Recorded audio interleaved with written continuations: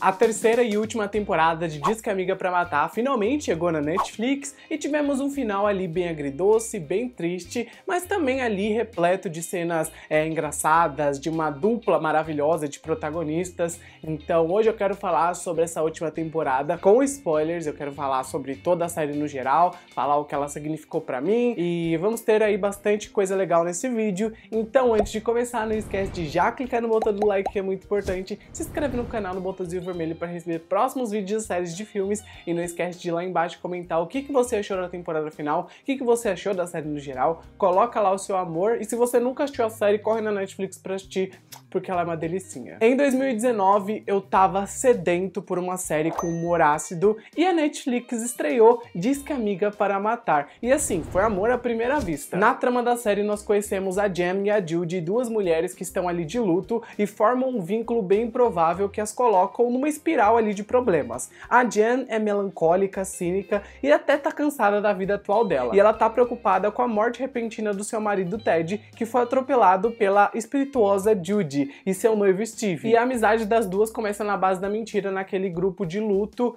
e a Judy fala que o Steve morreu, que ela tá ali por causa disso, blá blá blá. Enfim, o Steve tava vivo no final das contas, mas essa mentira foi a coisa que uniu as duas, que conectou elas. E durante a primeira temporada nós fomos descobrindo algumas coisas até que chegamos a um final sangrento, onde o Steve acaba sendo morto naquela cena da piscina. E então passamos para a segunda temporada, que trouxe mais dramas e mais debates sobre luto. Só que agora temos o Ben aparecendo para se tornar o interesse amoroso da Jen, e ele é nada mais nada menos que o irmão gêmeo do Steve. E com isso, toda a dinâmica dos personagens se intensifica e a polícia também entra aí nessa fórmula porque eles começam a investigar a morte do Steve e mais problemas aparecem na vida da Jen da Judy, porque quanto mais essas duas tentam encobrir problemas anteriores, mais elas causam problemas novos, então é uma doideira. E agora chegamos na terceira e última temporada dessa série deliciosa que eu amei acompanhar e vemos novos desdobramentos na vida dessas duas protagonistas. E não só as duas enfrentam problemas, como também a Christina Applegate enfrentou problemas na vida real, já que ela foi diagnosticada com esclerose múltipla enquanto ela estava gravando essa terceira temporada. Então a série teve que dar uma pausa para ela se tratar, né? E aí quando ela começou a melhorar, ter ali um progresso é, nesse tratamento que ela estava fazendo, ela voltou para gravar é, o final da temporada. E mesmo com esse baque na vida pessoal dela, que não só impactou ela, como também impactou nós, fãs, que gostamos dela como atriz, é, nem isso conseguiu parar a Christina Applegate de entregar aí um final adequado para essa série e também de entregar uma perfeita performance. A Christina é basicamente a luz no fim do túnel para essa temporada, que assim, na minha perspectiva,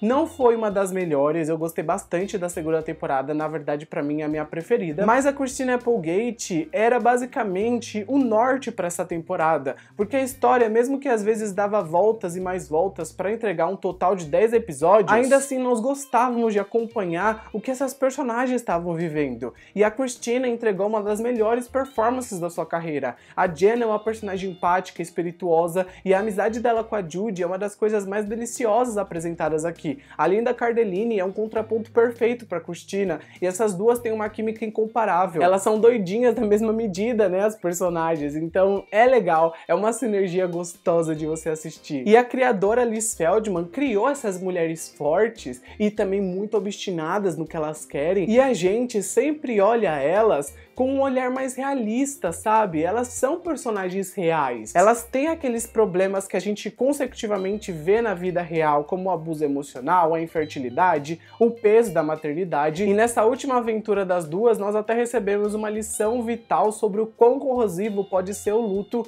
e como o perdão é uma das fases do luto. Além disso, essa terceira temporada também coloca em debate as inúmeras mentiras que as duas contam e, claro, os segredos que elas escondem uma da outra, mas a dor que elas compartilham unem elas em várias situações. Sendo que a Judy acaba descobrindo em um ponto da temporada que ela tá com câncer cervical ali de estágio 4, então já tá bem avançado. E isso acaba sendo basicamente uma onda forte, sabe, que nos encaminha de volta pro estágio inicial do luto, que começou a série com isso e terminou a série com isso. Então a Gemma, além de ter que se preocupar com a amiga que tava à beira da morte, ela ainda tinha que ficar ali tentando se esquivar da morte do Steve, que ainda perseguia seguia ela a cada nova descoberta da polícia, e nessa temporada a gente até tinha o FBI e a máfia grega entrando em cena para preocupar ainda mais a cabeça da Jen Jen da Judy, mas a amizade das duas acaba sendo uma coisa tão inabalável que qualquer baque que elas têm, ainda assim elas tentam dar uma contornada. E mesmo que as decisões das duas não sejam as mais inteligentes que elas poderiam fazer, né, que elas são às vezes meio lardinhas, ainda assim uma sempre ajuda a outra. E a Judy, por exemplo, até desiste de tentar ali curar seu câncer, que era no caso incurável,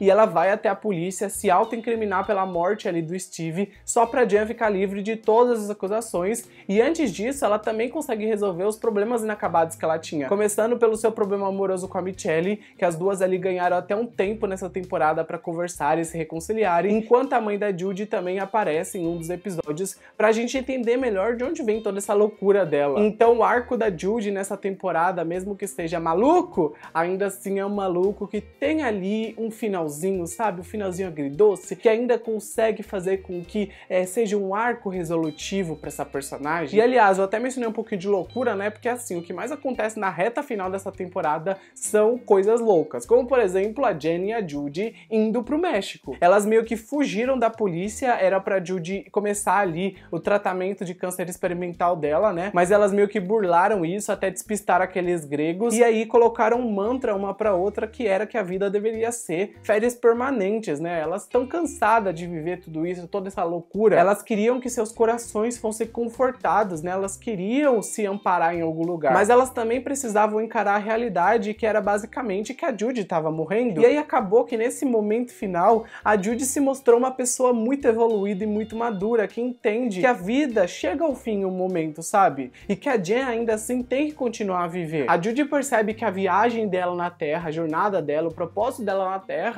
tá chegando ao fim, tem que ter um ponto final. E a Judy, depois de cogitar tudo isso e falar tudo que ela precisava para acabar essa relação com a Jen, né? E ao mesmo tempo continuar presente na vida da Jen como espírito, é, a gente não vê, obviamente, a morte da Judy, a gente só sabe que ela morreu, mas é legal saber que a própria Jen acaba aceitando essa morte bem, entende que a amiga partiu feliz, realizada. E nesse momento que a Jen volta para casa sozinha, nós temos uma conclusão bem agridoce para essa morte da Judy, como se fosse algo positivo, sabe? A Jen conseguiu evoluir muito durante essa temporada e ela foi capaz de colocar sua vida nos eixos. E as duas personagens aprenderam que mentir não é a coisa certa a se fazer. E se você gosta muito de uma pessoa, nunca é certo esconder as coisas dela. Você tem que, na verdade, ser transparente. Tanto que a série termina no momento onde a Jen decide contar pro Ben que ela matou o Steve. E a gente não tem ela falando ali que matou, né? Mas fica claro na nossa cabeça, depois de toda a jornada das duas personagens, que elas mudaram, sabe? E que a Jen vai contar pro Ben o que ela precisa contar para ele. Na minha perspectiva, foi um final gostoso, delicioso,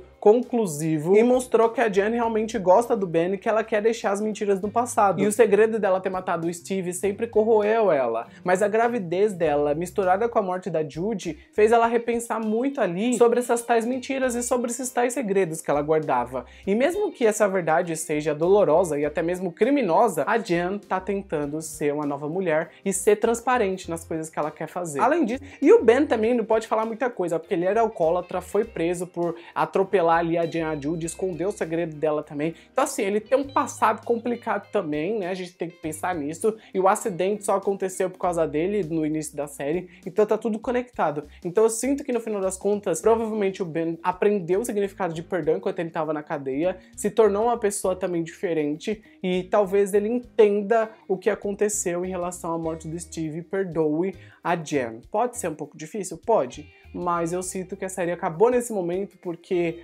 o encerramento tá ali, sabe? A, o ciclo, a jornada das personagens foi apresentada. Senti que essa temporada trouxe um debate sobre perdão, sobre você ter a consciência limpa, sobre você conseguir pôr um ponto final nos problemas do seu passado e você evoluir, se tornar uma nova pessoa. Então foi uma temporada de renovação, foi uma temporada de transformação. E essa decisão final da Jen só comprovou o que a gente já sabia, que era no caso que tanto a Judy quanto a Jen conseguiram deixar o passado para trás, deixar o luto para trás e agora é, seguir suas vidas, né? No caso, a Judy vai seguir no céu, ou não, né? Sei lá. Mas a Jen, principalmente, vai conseguir ter uma vida boa com os filhos, que era uma coisa que ela queria muito ter, mas ela nunca se achava a melhor mãe, nunca se achava a melhor mulher, ela nunca se achava melhor em nada. E agora ela pode tentar é, pensar positivo, né? Pensar para frente. E uma coisa que essa série me ensinou durante três temporadas é que ninguém é perfeito, acidente acidentes acontecem. E se uma coisa pode dar errado, ela vai dar errado e vai dar errado três vezes mais e vai dar problema